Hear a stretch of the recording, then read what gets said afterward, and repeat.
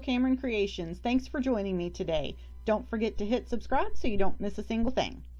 Today we're going to make a card for Make the Cards Challenge number 38 and it's to use the color green. And we're making a simple camo background. I have lots of friends that hunt, guys and girls. So we're using a mix of Distress Oxide inks.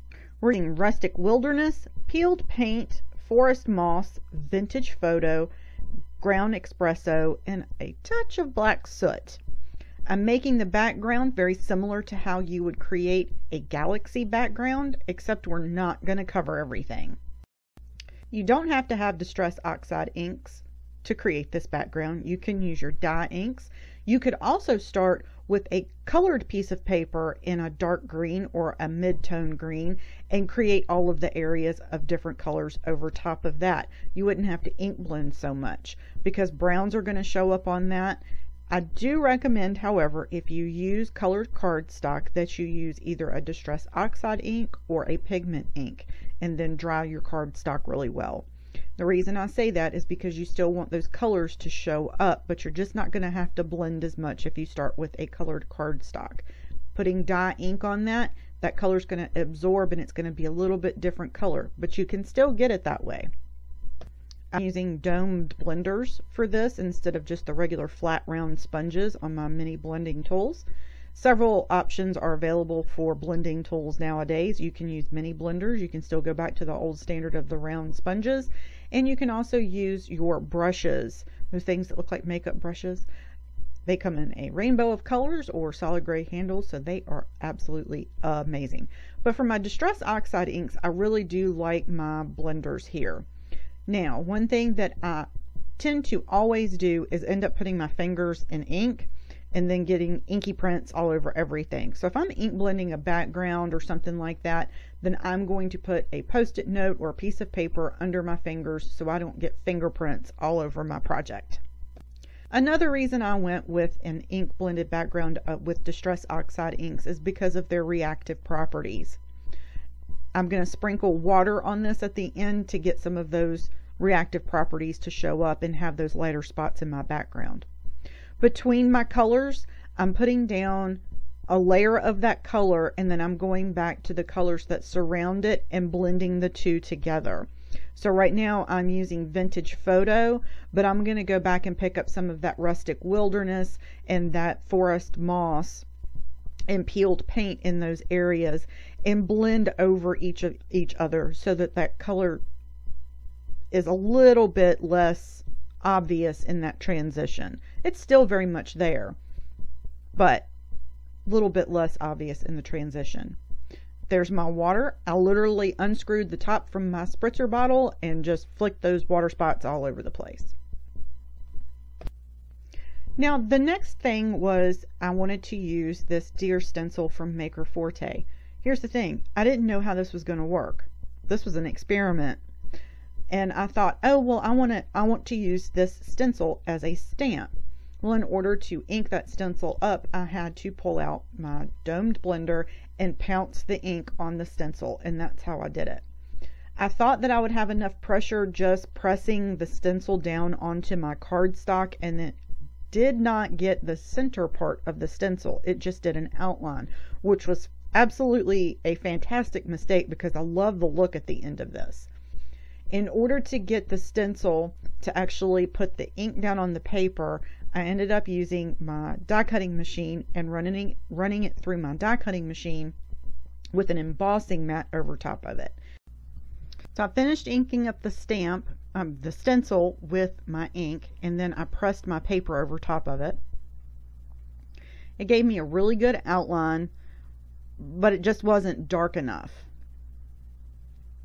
You'll see here I'm pressing down really hard, but then I get this outline and I didn't get the center part of the stencil, which was fine. And I didn't want to just do negative space on the stencil. I really wanted to have the whole deer outlined on here. So I'm going to use an embossing mat and run that through my die cutting machine. And I did do that twice and it still shifted on me with even with tape on it and that's okay so you can see that outline that's offset a little bit but it's still absolutely gorgeous and I think it gave it a little bit more. Now my friend Nikki sent me this deckled edge uh, paper trimmer and I pulled this bad boy out and I said this is going to be perfect for this card and I literally just stuck the edge of the paper. I didn't measure anything. I just literally stuck just a itty bitty teeny tiny little line over the edge just enough to cover the whole entire uh, decorative edge and trimmed it off so it would have those ratty looking edges on the side of it. And then I'm going to ink the edges of my paper. And I did the ground espresso first and then I'm going to take some black soot and go around the edges of it. And then I'm going to actually go over top of it again with the ground espresso espresso again just to give it a little more depth to the edge of the card. My card base is going to be dark brown cardstock and I'm this card is finished size at eight and a half by three and three quarters inches wide. So it's a slimline card and this was one of those cards that was kind of a series of follies the entire time. I actually die cut a bunch of letters to, to put happy hunting on the front of it. And I die cut all of them, stacked them up, and I ended up not liking the font. I just it didn't fit well on the front of this card. So I pulled out my fonts on my Silhouette Cameo and I made my own sentiment. And then I painted them using some old glimmer mist that I had and I'm a big purveyor of using what you have on hand instead of continuing to buy stuff and stock in your shelves with stuff that you already have comparable of. Uh, there are plenty of products on the market that are shimmer mists that you can do this with. This one is a dark brown coppery color, and I will include those uh, comparable products over in the description and in my product list below because I have this on hand. I, I, have a bunch of different colors of glimmer mists, so I continue to use them, uh, even though finding Tattered Angels glimmer mist from forever ago is really, really hard. Now, if you have mica powders that have different colors to them, you can do it with those as well. If you're going to do something like this, make sure that you let your letters dry completely. I stacked them up because I cut these three times and stacked them up and glued all my letters together. Uh, make sure you paint the edges of your letters or use colored cardstock, one of the two, and make sure that your letters completely dry because they are very wet after you do this because you're just taking regular cardstock and painting them.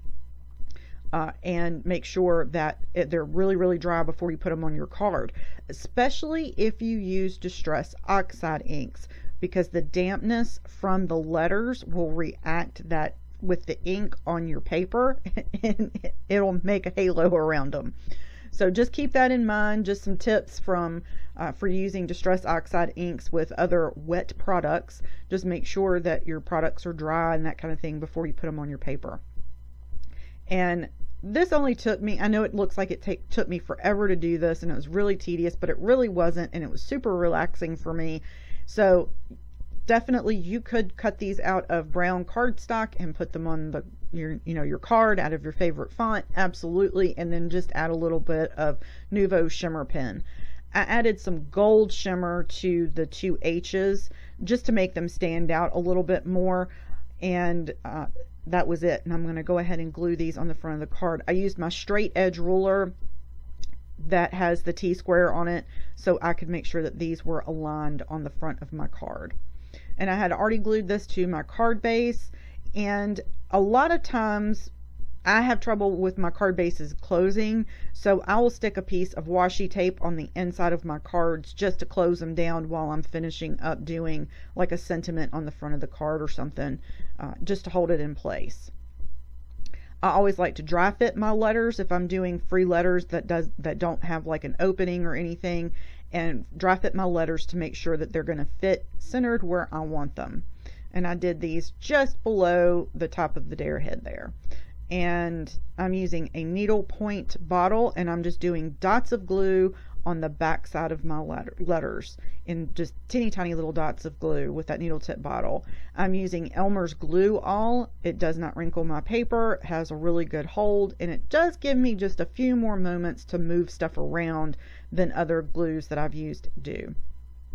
And I'm kind of persnickety about some things, so I like that few extra moments. I also like that it's a great big bottle at a really decent price, and I can refill my needle tip bottle about six times out of a regular like school size bottle and it's really really cheap and really really easy to find. So I'm very much enjoying that ink.